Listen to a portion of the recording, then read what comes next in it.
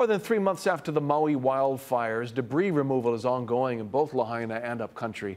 But many victims still have not registered to have their properties cleared. Mark Carpenter has more.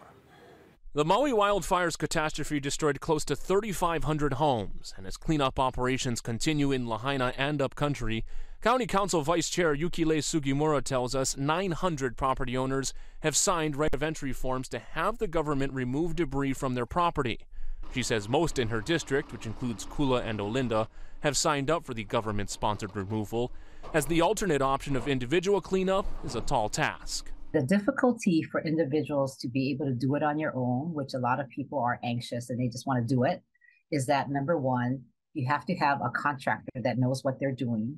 Number two, you're going to have to follow the same rules of safety and security um, and health meaning debris packing needs to be done under specific regulations used by the Army Corps of Engineers to prevent toxic ash and dust from going airborne.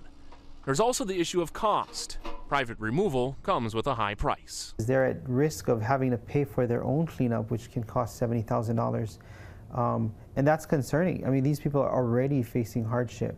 And once we move past this phase, you know, it's, it's going to be it's going to be hard to go backwards. Kuhio Lewis and the Council for Native Hawaiian Advancement have spent months working directly with wildfire victims.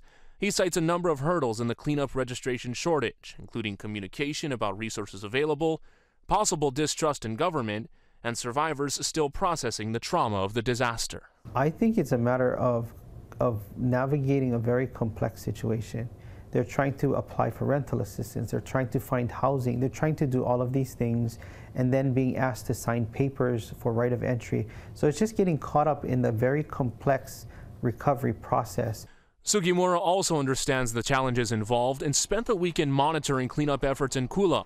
She encourages survivors to sign up as the professionals approach removal with the utmost care and attention to detail to some degree you're going to have to trust that you know the decisions that are being made is for the best betterment of the entire community as well as the property owner you know to remove the debris but also for the safety of the neighbors. For those interested in registering we've included a link on our website. Mark carpenter hawaii news now. And more